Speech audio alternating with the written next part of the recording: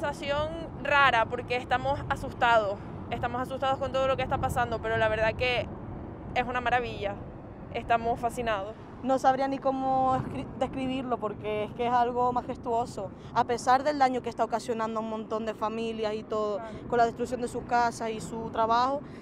Es algo asombroso que nadie va a poder ver a saber hasta cuándo y es una suerte, dentro de lo que cabe, viviendo en una isla volcánica, pues ver esta maravilla, sinceramente.